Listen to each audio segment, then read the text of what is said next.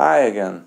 In the mid-80s, after the CD successfully introduced to the market, came up the idea the tape cassette that has been in the market since 1966 should be also replaced by a digital one.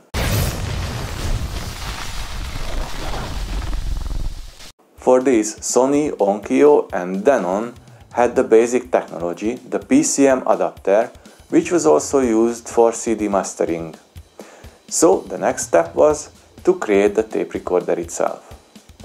Sony started to modify its own 8mm video standard. Philips also created its own version of the digital cassette, but they are kept the basics from the compact cassette, which was a logical step of them.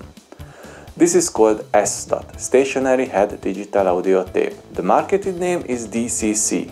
I will link the video about it. Sony chose the rotary head which was quite different from the previous sound recording systems. This is R dot, Rotary Head Digital Audio Tape. The cassette's dimensions 73 by 54 by 10.5 mm and the tape is only 4 mm wide.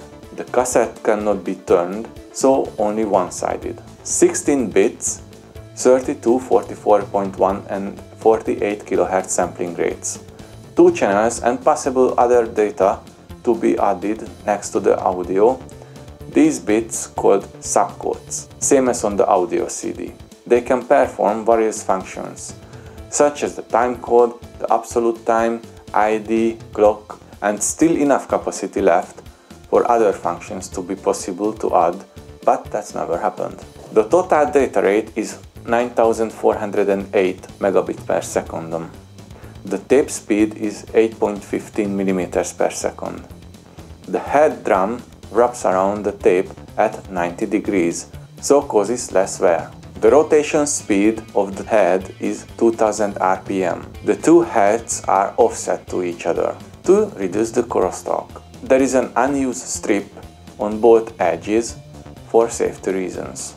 Also, an ATF signal is recorded, auto track following, Similarly, what Philips used in Video 2000. The frequency response is between 2 and 22 kHz.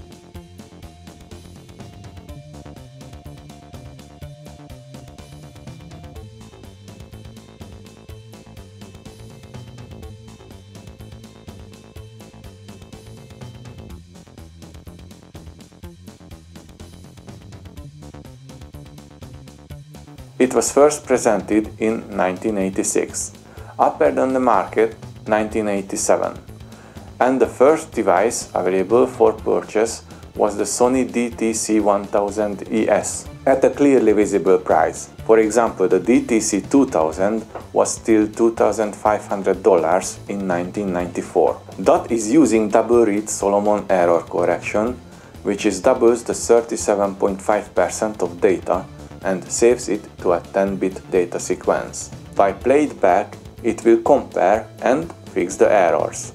If the error is greater than this, that part will be muted. In addition, the interleaving technology as an extra protection is also available for error correction. In the 80s, development made easier copying and recording music from vinyl records, from radios, and between cassettes as well. Since their quality is improved. This started to bother publishers, so they started to pressurize the manufacturers. When the CD was released, it was the only digital format, so they accepted easy. But when the Sony came out with the DAT and realized that it's possible to copy of the same quality as the CD and even create more copies, keeping the original quality, that blew their mind up and started to protest against. They also argued that would kill the market, so they didn't let DAT to be marketed in the United States. Sony, on the other hand, refused to hide the signal in the recording because it would be heard, which is called copy code, and were originally invented for the audio CD. The dispute between the USA and Japan has become quite heated. Sony acquired CBS Records in 1988, Columbia Broadcasting Systems. With this purchase, one of the biggest resistors was eliminated. The SCMS serial copy management system became the solution. One digital copy permitted. This is the 2-bit procedure which was also used for the minidisc and DCC. And they also introduced a mandatory copyright consent on blank media. So in 1990, the United States also authorized the distribution of DAT. Pre-recorded tapes was hardly ever released on the format. The first in 1987, The Guitar and Other Machines, was an album by a British punk band from the Durutti Column. A few more albums in the next years been released, but it wasn't significant at all. Dat essentially ran on four lines. Home decks for hi-fi systems with analog and digital output and input. The Walkman type versions which were also able to record, a professional portable called field recorders. These are also recorded and played, but they didn't necessarily had a digital input and the main professional line. Well, this was the most successful for DAT, although it wasn't the original purpose. They had professional balanced connections, digital and analog input and output, and were even suitable for recording timecode with editing functions.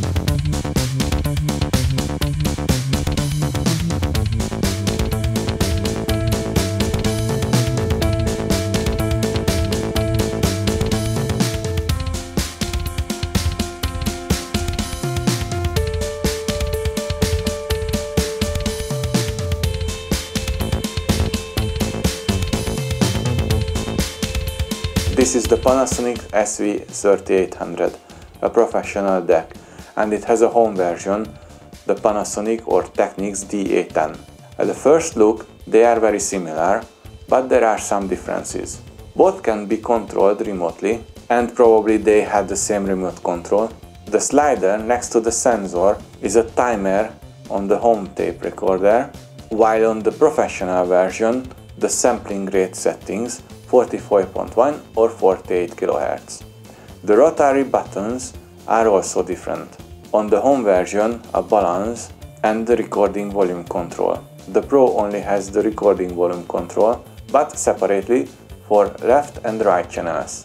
On the back of the home version, there is an RCA stereo input and output, there is an optical and coaxial input and output. And the professional version has an XLR analog input and output, XLR optical and coaxial digital input and outputs. It also has a controller slot. Interesting, but the SV3700 is a little closer to the home version. It has fewer digital connections, the XLR and the coaxial digital only. The interior is also different. I found a picture of the inside of the 3800 when it's disassembled.